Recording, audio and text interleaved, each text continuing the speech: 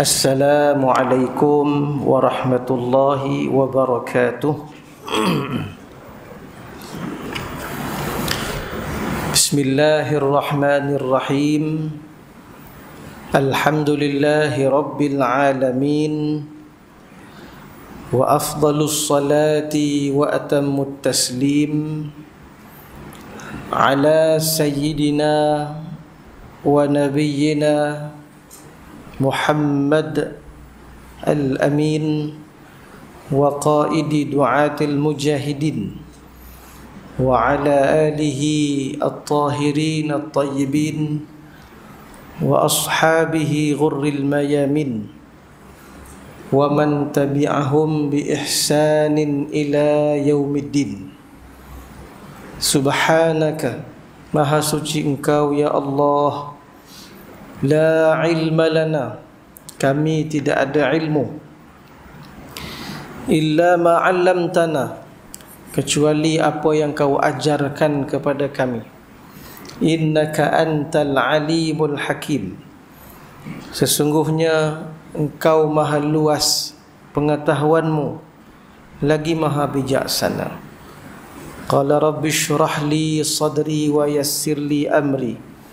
واحلل عقدة من لساني يفقه قولي ثم أما بعد yang berusaha semua ahli jatuh kuasa masjid yang hadir Ashabul Fadilah yang dimuliakan Tuan-tuan Imam, Tuan-tuan Bilal pimpinan masyarakat setempat yang hadir, muslimin, muslimat, hadirin dan hadirat.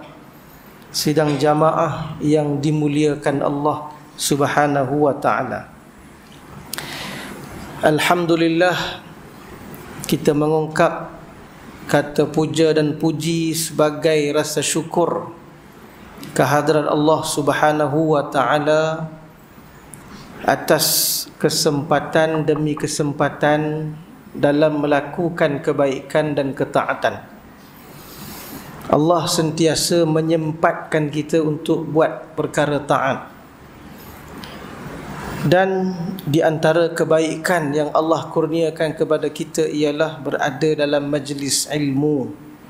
Seperti mana yang disabdakan oleh Rasul sallallahu alaihi wasallam riwayat Sayyidina Muawiyah kata Nabi man yuridillahu bihi khairan yufaqihu fid din barang siapa yang Allah inginkan kebaikan itu dimiliki oleh seseorang maka Allah fahamkan dia tentang agama faqihkannya tentang agama Faqih atau fiqih ini bermaksud faham. Faham ini bermaksud kita mengetahui sesuatu yang zahir dan yang batinnya. Yang dasar dan yang intinya. Maka oleh kerana itulah Nabi tidak sebut yu'allimhu fid din. Allah alimkannya dalam agama. Malahan Nabi sebut yufaqihhu fid din. Allah faqihkan dia dalam agama. Faqih makna faham.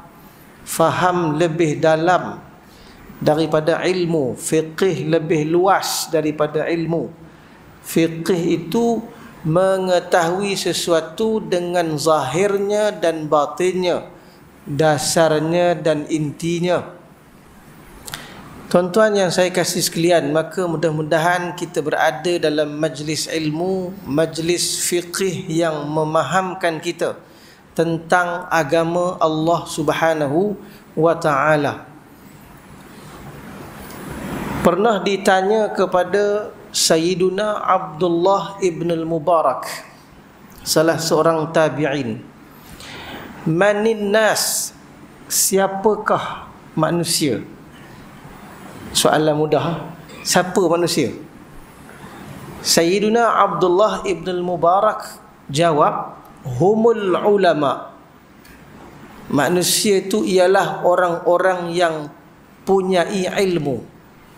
Orang yang ada ilmu itu ialah manusia.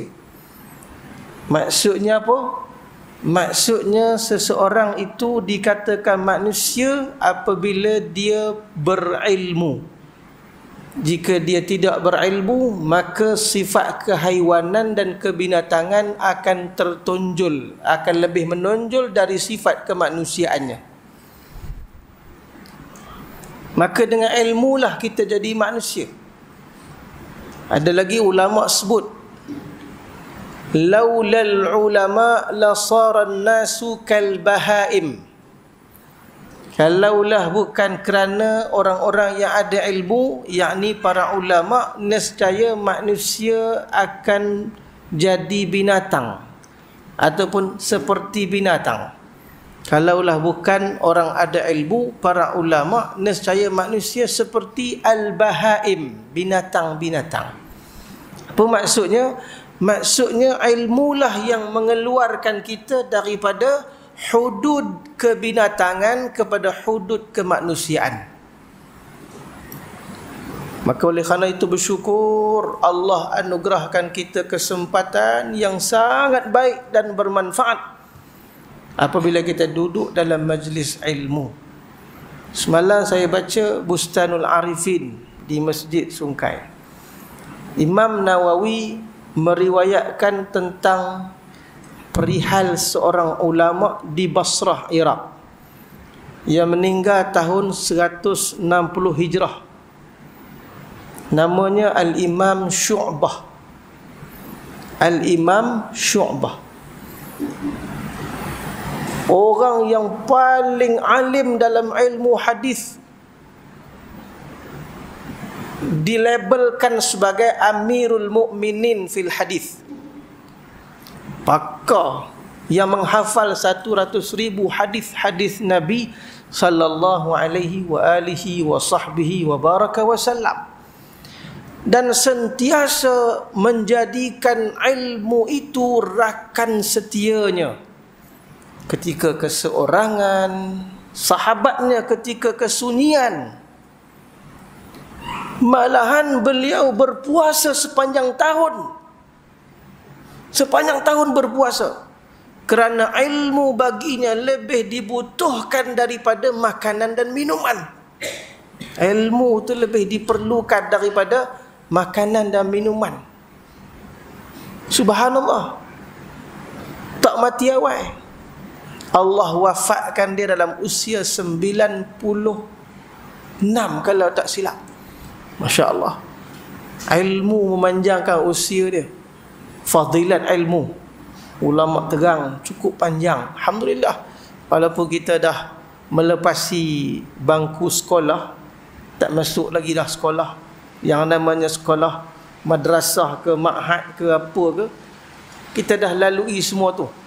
Tentang sekalian Kita tetap berada dalam ilmu dalam majlis ilmu dengan ilmu di mana-mana bila-bila bersama siapa sekalipun ada kajian menunjukkan orang yang mensyagalkan mensyagal ni maknanya menyibukkan otaknya akalnya dengan bacaan dengan ilmu orang ni saat mana menjengah usia senja sukar terkena penyakit nyanyuk.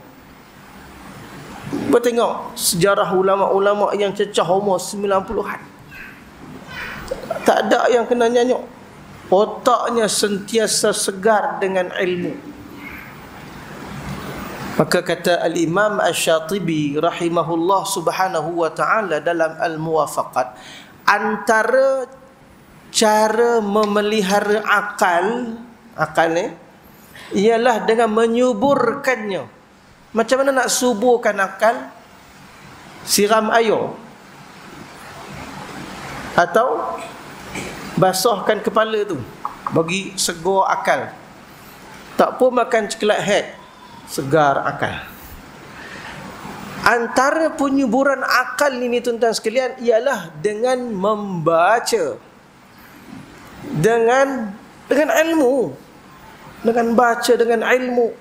Sesuailah Allah Taala turunkan ayat yang pertama dalam al-Quran itu ialah bacaan membaca bacalah kan Tuan-tuan yang saya kasih sekalian, sekadar memperangatkan tuan-tuan agar terus tidak bosan dengan majlis ilmu. Terus dengan ilmu insya-Allah sampai bila-bila. Banyak lagi kalau saya nak nukilkan kepada tuan-tuan kisah-kisah ulama yang hebat-hebat, masya-Allah, yang hebat-hebat. Ha. Baik, tuan-tuan yang saya kasih sekalian, malam ni kita nak cerita tentang tafsir Al-Quranul Karim.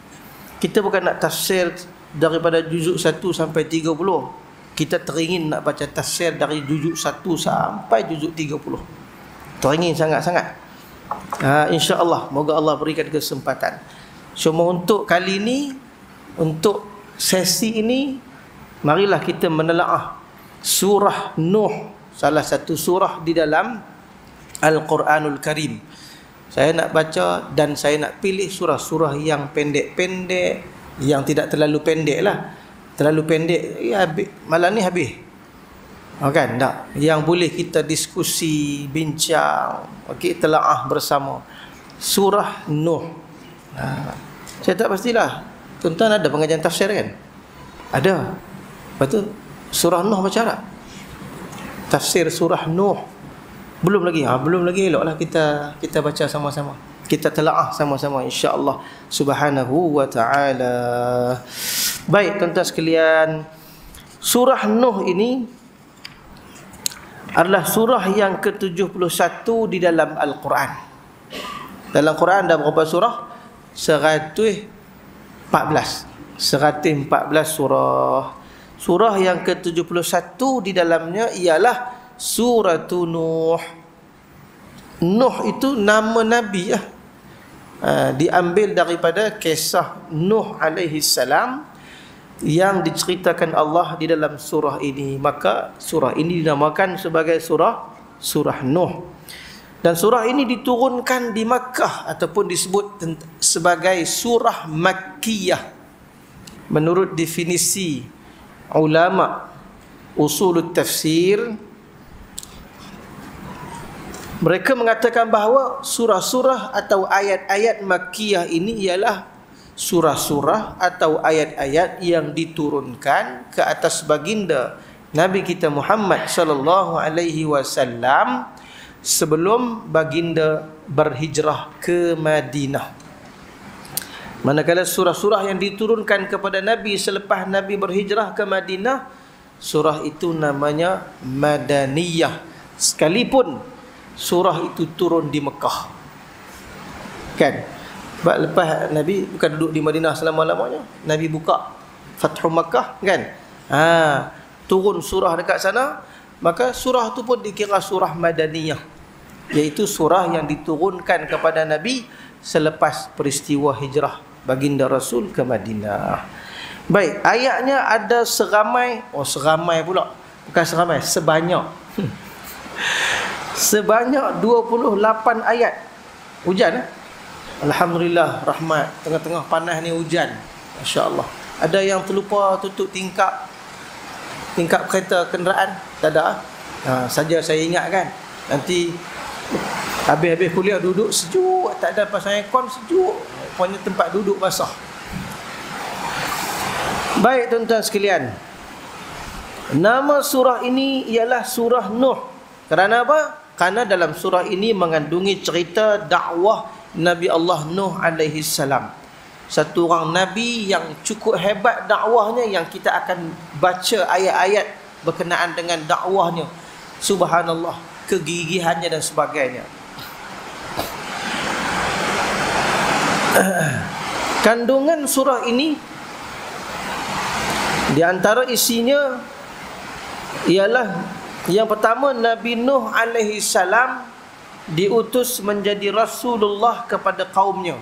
Itu mula-mula sekali Allah nak isbatkan, nak cerita kepada kita, nak tetapkan kepada kita, nak bagi tahu kita bahawa mula-mula sekali sebelum Nabi Nuh berdakwah, dia dilantik oleh Allah sebagai Rasul utusan Allah. Kemudian Nabi uh, antara isinya lagi Nabi Nuh alaihi salam diperintah supaya memberi amaran kepada kaumnya. Kita akan baca ayat-ayat berkenaan.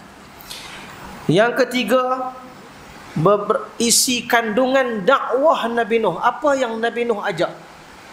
Kandungan dakwah Nabi Nuh. Yang keempat, di antara tujuan dakwah Nabi Nuh alaihi salam supaya beribadah, bertakwa, taat. Beribadah, bertakwa dan taat.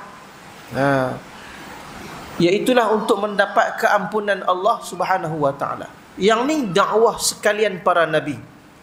Nabi-nabi daripada nabi sama ada nabi yang diutuskan kepada kaumnya atau tidak maka mereka diajak ataupun mereka harus menyatakan dakwah mereka ataupun ajakan mereka kepada beribadah kepada Allah. Fa'buduni wala tusyriku bacalah sama ada nabi nuh ke nabi saleh ke nabi apa sekalipun dakwah mereka ialah satu.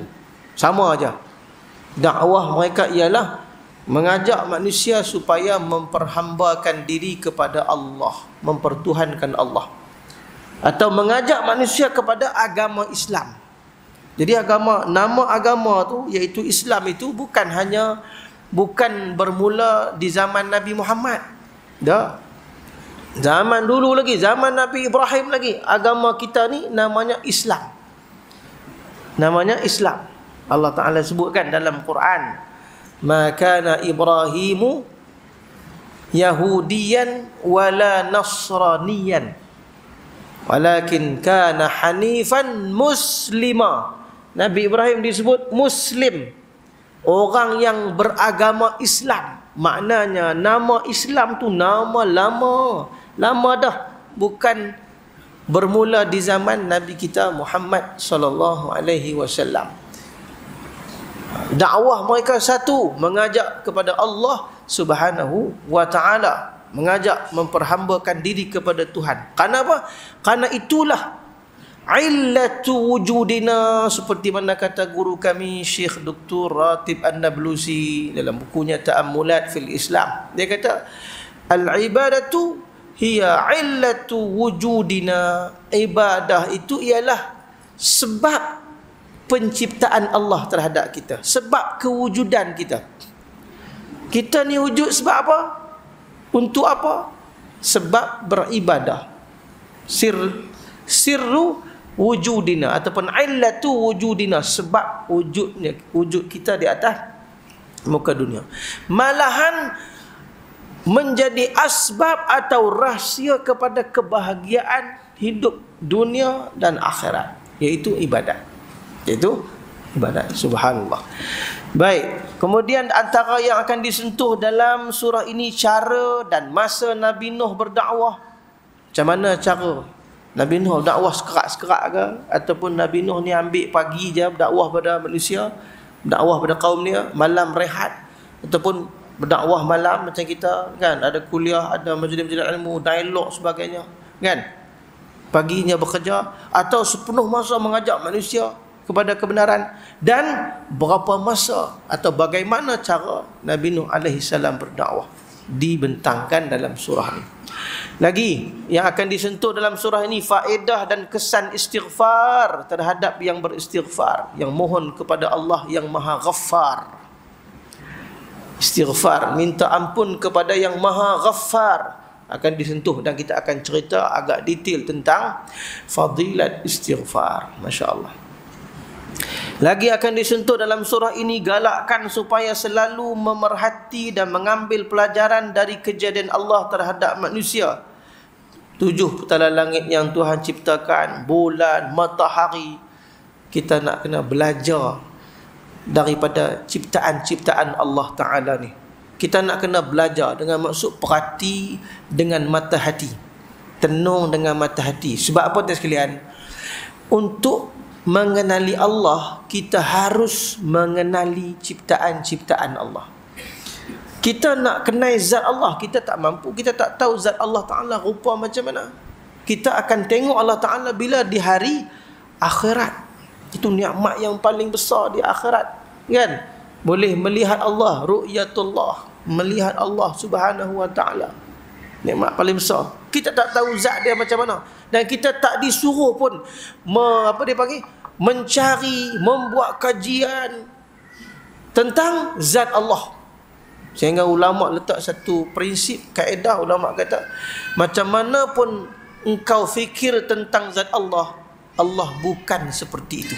Itu kaedah. Kan? Sehingga Sayyidina Abu Bakar kata apa? Al-ajzu 'anil idraki idrakun. Kalau ada orang nak mengkaji tentang zat Allah Taala, lalu akhirnya natijahnya, rizaknya ialah tak mampu nak cari macam mana zat Allah Taala. Kata Sayyidina Abu Bakar, itulah satu dapatan. Ia satu dapatan. Lemah daripada mendapati hakikat zat Allah Ta'ala itu ialah satu dapatan. Satu rizak. Itulah rizak dia. Kan? Kullu ma khatara bibalika anillah fallahu khairu dhalik. Kata ulama. Aqidah. Macam mana pun dalam kepala kita ni terlintas tentang zat Allah Ta'ala. Allah bukan macam tu. Clear? Ha, clear kan? Sebab itu tuan sekalian, dalam Quran kan ada ayat mutasyabihat kan? Ayat mutasyabihat ulama bincang masya-Allah. Ya, kita tak perlu nak bincang panjang-panjang sebab ulama dah bincang. Mutasyabihat ni ayat-ayat yang uh, ada orang kata ayat-ayat yang kesamaran. Sebenarnya dalam Quran ni tak ada yang samar. Kalau Quran tu samar, jenuh kita nak mengamal Quran. Quran ni jelas dia tak ada samar. Tu ayat mutasyabihat tu Ustaz. Ayat tu ayat mutasyabihat itu lagi jelas. Sebenar-benarnya lagi jelas. Kan? Bila Tuhan kata tangan Allah yadullah fauqa aidihim atas tangan mereka. Kan? Macam mana? Tangan Allah macam mana dia tahulah. Macam mana hakikat dia lah. Kita tak tahu kita kita sebut tadi kan. Tak boleh cari tentang zat Allah Taala. Dia saja tahu macam mana rupa dia. Dah clear dah. Itulah kejelasan. Kan? Yang kita duk pening tangan. Kenapa disebut tangan? Ah, dia pening. Ah kan? Ah. Baik tu sekalian. Baik, lagi akan disentuh. Jadi apa dia? Kita nak kenal Allah melalui penciptaan-penciptaan dia. Nak kenal kuasa Allah, betapa hebat kuasanya, kemampuannya. Tengok penciptaan dia. Tengok dia cipta langit berlapis-lapis, bumi berlapis, bulan, matahari. Tengok ciptaan Allah yang besar-besar ni. Kan? Yang hebat-hebat ni kita akan dapati betapa kerdilnya kita dan betapa kita punya Allah Maha berkuasa yang menciptakan semua itu. Lagi antara benda yang akan disentuh dalam surah ini rayuan Nabi Nuh alaihi salam mengenai penderhakaan kaumnya, kedegilan mereka, tipu daya mereka dan semangat juang yang tinggi membela berhala-berhala mereka. Masalahlah pula. Semangat juang tinggi tinggi sungguh semangat juang kaum dia. Semangat sungguh-sungguh. Bela berhala bukan berhala agama Islam bela berhala. Nabi Nuh berhadapan dengan kedegilan kederhakaan semangat juang yang berlebihan membela berhala-berhala ini Nabi Nuh merayu untuk mereka untuk selamatkan mereka untuk selamatkan mereka Nabi-nabi ni tugas dia untuk selamatkan manusia Orang yang ganti tugas Nabi, tugas Nabi. Para ulama juga tugas dia untuk selamatkan manusia. Betul kata ulama. Orang-orang alim ini lebih kata Yahya bin Muaz arham bi ummati Muhammadin sallallahu alaihi wasallam. Orang alim ini orang ulama rabbani ni yang betul-betul ulama ni mereka orang yang paling sayang kepada umat Muhammad daripada ayah mak mereka. Ayah mak umat. Orang alim ni para ulama yang mukhlisin ni yang tahu tanggungjawab mereka ini mereka itu lebih sayang kepada kita daripada daripada mak ayah kita sayang ke kita ditanya kepada Sayyiduna kepada Imam Yahya bin Mu'adh bagaimana boleh jadi macam tu kata Sayyiduna Yahya Orang alim yang mukhlisin ini yang tahu peranan dan tanggungjawabnya ini menyelamatkan umat daripada api neraka. Manakala ayah ibu kita menyelamatkan kita daripada api dunia. Mak ayah kita siapkan makan minum kita, pastikan kita ni berpakaian, jangan kalau sakit diberikan ubat.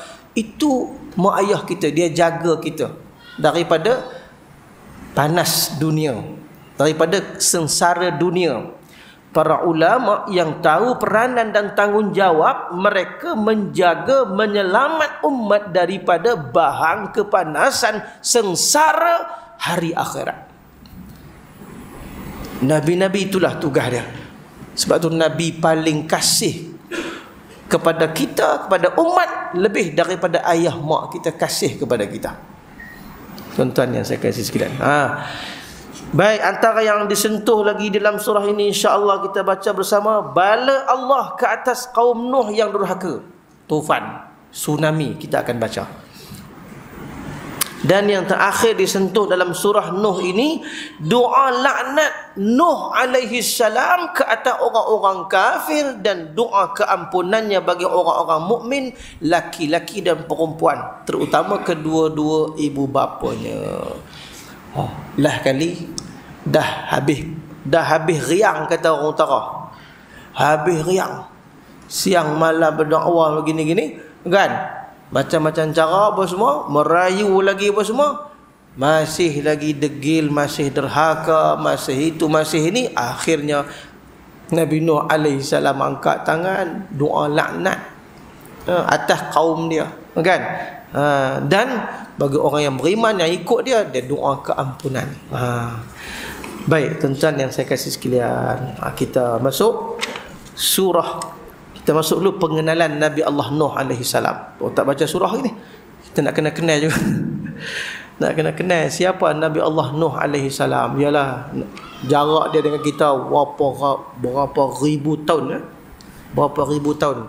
Saya baru ni baca satu buku tulisan Siapa ulama kita daripada Kelantan tu Al-Fadhil Ustaz uh, Dr. Abdul Basit Abdul Rahman cerita buku Mekah Madinah yang dia buat kan. Uh, dia cerita dalam tu dia menukilkan uh, apa nama fakta berkenaan dengan usia telaga Zamzam. Usia telaga Zamzam kan 5000 tahun lebih. 5000 tahun lebih. Usia dia usia dia dikira sampai sekarang ni Lima ribu tahun lebih Saya duk fikir Kalau kita dengan Nabi Adam Nabi Idris Nabi Nuh Berapa ribu tahun ha, Itu saya sebut tadi tu. Kita dengan Nabi Nuh ni Ribu tahun. Ribu tahun. Tapi Allah record Sejarah cerita dia dalam Al-Quran. Satu dia tujuannya Ambil pengajaran dan pedoman. Ha kan? Allah record dalam Quran. Ha, kok mana pun kita kena kenal. Nabi Nuh AS tidak secara terperinci sikit-sikit. Sebab jarak dia dengan kita jauh. Al-Quran ni pula prinsip dia prinsip dia bila dia cerita tentang kisah dia tak berapa ambil pot tentang detail pendetailan cerita. Dia bawalah dia tengok cerita-cerita Quran. Cerita Skandar Zulkarnain, cerita siapa apa uh, Ratu Balqis cerita cerita-cerita Al-Quran ni prinsip cerita dia dia buat mari cerita tu nak ambil pedoman bukan nak bukan suruh kita dalam-dalam uh, ambil apa nama belajar secara detail. Betul siapa Iskandar Zulkarnain? Mari ikut mana dia? Dia keturunan apa? Mak pak dia siapa? Mak bapak dia punya keturunan daripada mana? Dia ni ada kena mengenal tak dengan orang ni? Tu bukan bukan taklifan kita. Kita tak ditaklifkan sampai tahap tu. Ya, cukup Tuhan perkenalkan. Kerana ini dia menguasai apa nama timur dan barat kan? Ha, dia membantu masyarakat daripada dirosak oleh kaum majud. Majud dia ada majud. Cukup sekadar tu. Yang kita nak ambil pengajaran tentang tentang pedoman ataupun tentang cerita Iskandar tu. Ataupun siapa-siapalah yang Allah Taala bawa cerita. Ha, termasuk cerita nabi-nabi. Tidak terlalu detail. Tak terlalu detail. Cerita yang paling detail ni tuan-tuan sekalian sama ada dalam Quran ataupun dalam hadis kan yang paling detail sekali. Paling detail lengkap. Cerita siapa? Cerita Nabi Muhammad sallallahu alaihi wasallam. Daripada sebelum dia lahir lagi kata orang utara. Tahu lahir? Lahir. Sebelum sebelum lahir lagi sampailah dia wafat. Lengkap cerita dia. Sebab apa lengkap? Sebab nak jadi nak jadi suri teladan kepada umat. Kena lengkap cerita dia. Kalau kita baca cerita nabi-nabi dulu kita dapat sikit-sikit. Ada orang dia ambil cerita Nabi dulu dalam kitab-kitab Bani Israel ataupun dalam kitab-kitab Yahudi, dalam kitab Talmud lah. Kan? Taurat ambil sikit yang ha, termasuklah kitab-kitab apa nama yang diselewengkan oleh Yahudi. Kitab Injil sikit ataupun apa versi yang telah diselewengkan. Ambil yang tu tak kita tak pasti, tak berapa pasti ketulinannya, kesahihannya. Yang lengkap cerita Nabi Muhammad je. Sebab tu ajakan kita kepada mencontohi Muhammad SAW itu adalah ajakan yang terlalu penting sekali. Terlalu penting sebab cerita dia lengkap.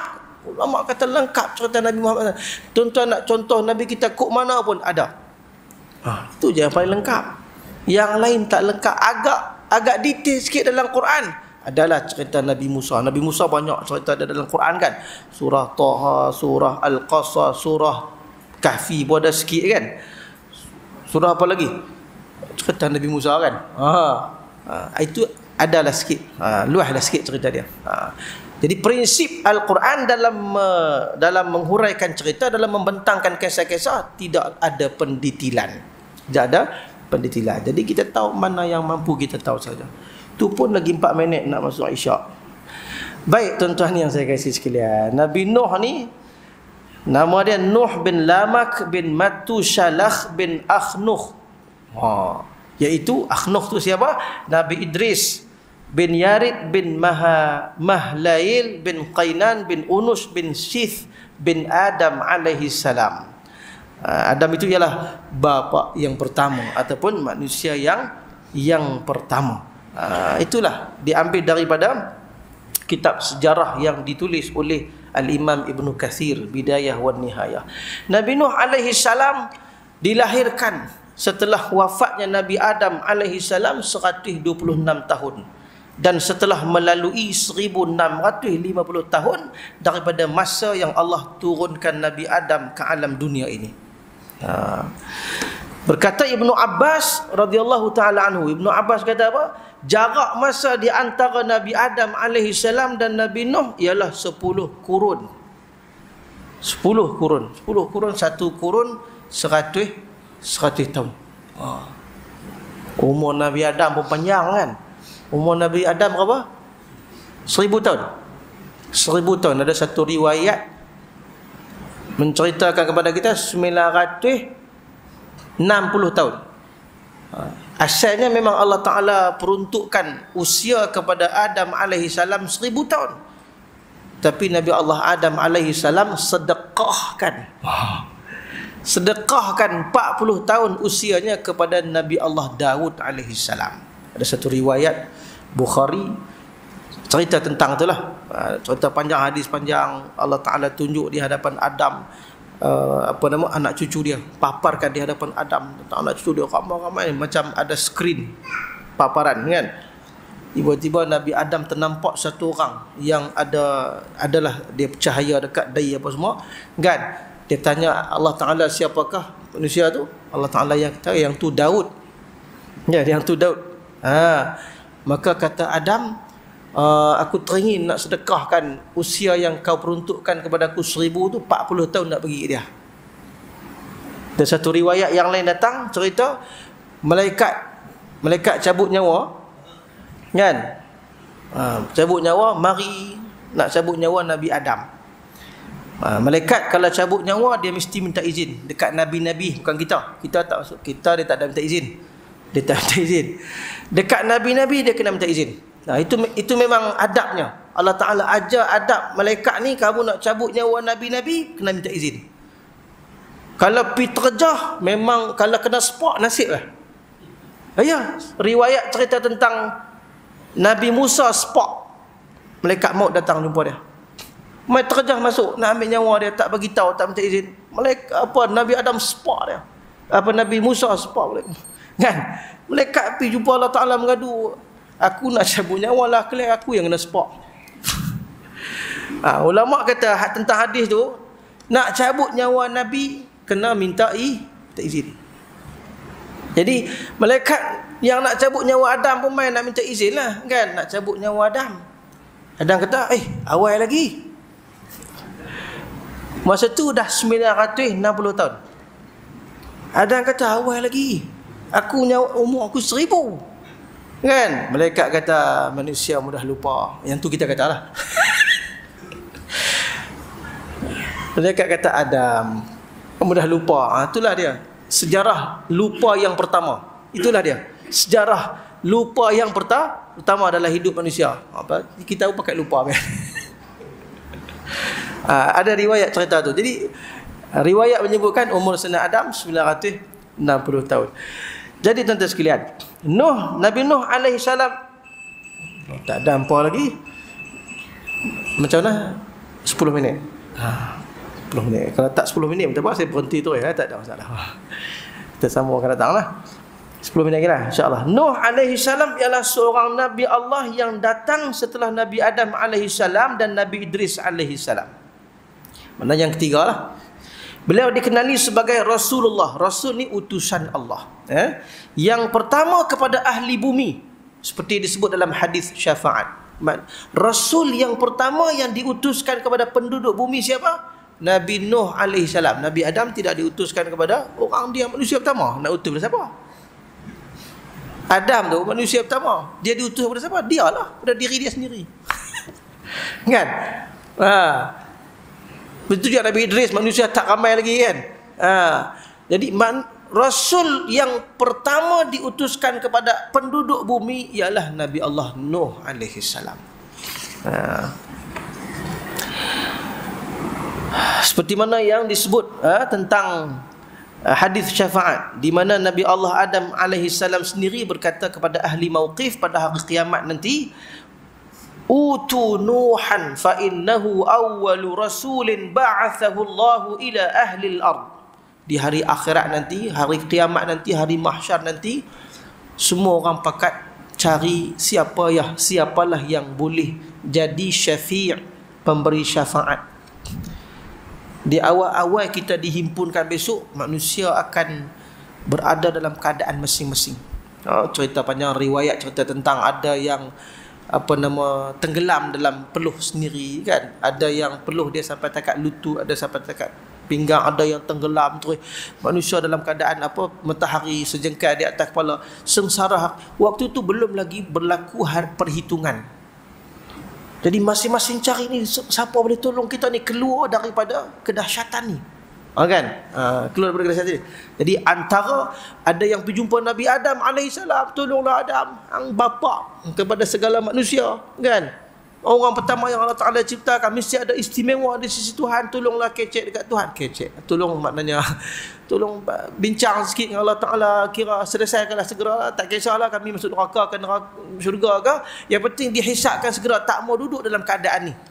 Kata Nabi Adam Utu Nuhan Fa innahu awalu rasulillah. Awalu rasulin ba'athahu Allahu ila ahli al-ard Pergilah kamu sekalian Kata Adam AS kepada anak cucu dia yang menjumpa dia kepada Nabi Nuh alaihi salam.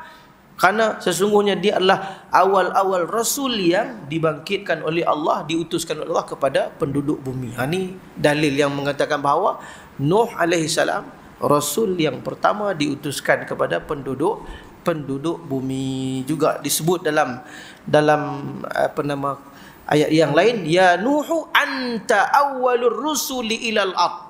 Kan Ah, hadis dalam hadis sahih Muslim menyebut anta awwalur rus awwalur rusuli ilal ard. Nuh engkau adalah awal-awal rasul yang diutuskan kepada kepada ahli bumi. Baik tuan-tuan yang saya kasih sekalian. Kemudian sikit lagi saya nak baca Nabi Nuh alaihi salam telah diutus kepada kaum Bayr Biorasp nama kaum dia yang menyembah patung dan berhala yang berusaha menyesatkan ramai dari kalangan manusia sebagai satu rahmat Allah kepada kepada hamba-hambanya di zaman itu. Terutusnya nabi dan rasul kepada umat satu rahmat. Kan kata nabi kita saja wa ma arsalnaka illa rahmatan lil alamin. Rahmatan lil alamin. Ah, ayat Quran ya tidak kami utuskan engkau wahai Muhammad melainkan supaya ataupun untuk memberi rahmat. Nabi-nabi bukan saja nabi Muhammad nabi-nabi yang dihantar kepada umat kepada penduduk bumi adalah satu rahmat daripada Allah Ta'ala Allah Ta'ala nak selamatkan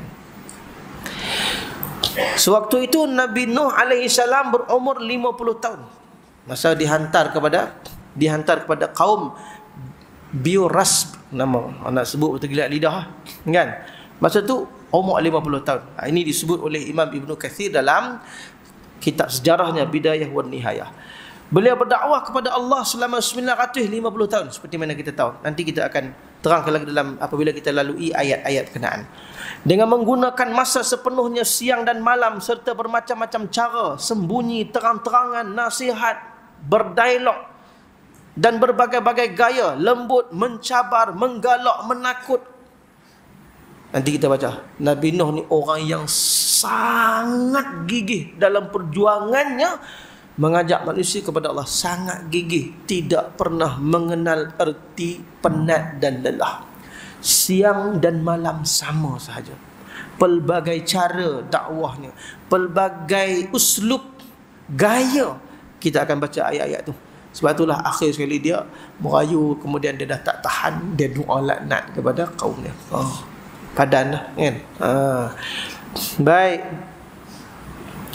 tetapi natijahnya ialah kaumnya tidak beriman dengan dakwahnya kecuali sedikit sahaja bilangannya. Dan akhirnya beliau berdoa ke atas kaumnya dan Allah memperkenankan doanya dengan cara mendatangkan tufan yang menyebabkan sekalian orang kafir dengan tufan tadi mati tenggelam. Termasuk juga setengah orang eh, setengah anaknya dan seorang isterinya. Ah, dengan itu maka Nabi Nuh alaihissalam eh, disebut oleh Ibnu Abbas dan para ulama yang muktabar sebagai salah seorang Rasul Ulul Azmi Rasul Ulul Azmi ada lima Salah seorangnya Nabi Nuh Kenapa? Apa maksud Ulul Azmi? Orang yang punya azam yang sangat jitu Melihat kepada sejarah dakwahnya yang begitu hebat Pengorbanannya yang tidak ada tolak banding Dia layak Ataupun dia tergolong di kalangan Rasul Ulul Azmi Kenapa? Kesabarannya yang terlalu luar biasa Dalam berdak berdakwah sebab tu orang pesan kan? Saya ingat lagi tu guru saya pesan nak belajar ni kan ada tiga benda. Yang pertama sabar nuh. Ha. Sabar sabar nuh. Ataupun ada riwayat juga menyebutkan sabar ayub. Kerana Nabi Allah Ayub juga sabar dia tidak ada tidak, bukan calang-calang sabar. Sabar ayub ataupun sabar nuh kan? Uh, satu lagi disebut umur nuh. Sabar ayub umur nuh umur panjang kan? Uh, untuk untuk memperolehi kejayaan ha, disebut sabar ataupun panjang usia ha, Nuh alaihi salam baik dan uh, akhir sekali sebagai satu fakta tambahan Nabi Nuh alaihi salam disebut oleh Allah di dalam Al-Quran sebanyak 43 tempat dalam 28 surah. Dan 114 surah nama Nabi Nuh disebut dalam 43 tempat. 43 kali Allah Taala sebut dalam 28 dalam 28 surah. Insya-Allah akan datang kita mula ayat yang pertama daripada surah Nuh. Uh, insya-Allah dengan izin Allah Subhanahu wa taala. Jadi sehingga di sini sahaja ada soalan masya-Allah. Tanyalah ustaz. Okey boleh. boleh seminit dua. Ah. Kalau Ustaz waktu ni saya ini kait tu yang enam samaran bagi fikir yang awal Iya betul. Betul. Jadi kait Ustaz jadi itulah sekarang ayat. Ada orang yang mati macam kami yang mau tidak. Ya, dia bukan saja ayat mutasyabihat samar kepada orang awam. Selagi dia tak mengaji Quran, semua ayat dia samar. Semua ayat dia kalau tak mengaji Quran, tak tak belajarlah. Kau kata ayat mutasyabihat. Ayat qul huwallah pun dia tak faham. Kan? Fatihah pun dia tak faham kalau tak mengaji. Kalau mengaji semua semua clear. Ha, itu maksud jelas. Al-Quran itu jelas apabila kita belajar kita mudah faham dan kita boleh amalkan. Kalau kita kata Quran itu dah belajar tapi tetap samar. Ini mustahil atas kalam Allah. Karena Quran itu untuk diamalkan. Bukan untuk maknanya di apa di bincang tak bincang tak pernah habis dan tak amal. Dia tak jadi itu. Kan? Ha, betul lah apa tadi sebut tadi. Kalau tak belajar samarlah. Sama di sisi kita. Saya apa kita samalah kalau kita tak belajar samarlah. Bila kita belajar clear. kita clear salah dan khalah tidak bergaduh dia hanya berbeza lafaz sikit lah. satu takwil takwil apa nama uh, takwil ringkas satu takwil terperinci ha, yang tu panjang cerita lah kalau kita masuk ayat mutasyabihat jadi hakikat kepada ayat Allah itu tidak ada kesamaran saya cerita tentang hakikat maksudnya bila kita dah belajar saya cerita tadi kalau qul Allah pun tak belajar samarlah Fatihah pun tak tahu apa dia minta dalam semayang samarlah Belajar ayat Quran boleh difahami dan untuk diamalkan. Kalau Quran itu sampai dah belajar tetap samar, mustahil lah begitu. Allah, agama kita innad din yusrun. Agama ni mu, mudah. Prinsip agama ni syariat ni belajar semua-semua kita akan tahu. Raf'ul haraj at-taysir itu maqasid objektif Al-Quran, objektif agama. Angkat benda yang susah mudah. Itu prinsip agama bukan mempermudahkan. Mempermudah jadi contoh lain. Tak, kan? Ha. Jadi terima kasih atas soalan. Ada satu lagi masya-Allah. ha, yang senang saya jawablah, yang panjang kita tangguh. Okey. Soalan yang senang, jawapan yang susah. Antara satu nabi satu nabi mak tidak ada lima apa? Tidak lah. Ya, misalnya kami ada dari mak tadi antara tengah-tengah di mana dia duduk dan dia di Wah. Termasuklah juga ayah dan mak kepada Nabi kita Muhammad sallam. Dia duduk di zaman yang tak diutuskan Nabi. Okey, jawapan ringkas saya. Allah sebut wa ma kunna mu'adzabina hatta nab'atha rasula. Kami tidak akan mengazabkan mengazabkan mana-mana orang, mana-mana kaum sehingga diutuskan kepada mereka roh rasul. Jadi pendapat yang sahih mengatakan bahawa ayah ayahanda dan bonda Nabi kita Muhammad sallam di kalangan ahli fatrah yang selamat. Kita ambil yang mudah. Selamat dalam surga lah. Ha, kalau sebut selamat dalam surga insya-Allah kan. Ha. Baik, begitu juga sikit lagi tambahan kita baca surah Al-Mulk kan.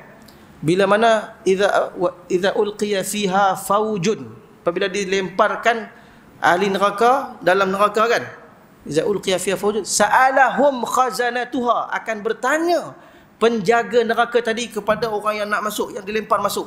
Ditanya lu walaupun masuk ditanya lu. Uh, alam ya'tikum nadhir ada tak rasul datang bagi ingatan ataupun orang yang ganti rasul para ulama bagi ingatan? Ada. Ah masuk neraka.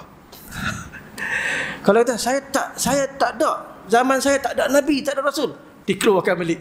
Jadi kata Ibnu Abbas, kata tafsir Ibnu Kathir, syarat masuk neraka ni kena Allah Taala utus rasul kepada satu-satu kaum. Wallahu a'lam bissawab. Terima kasih atas soalan.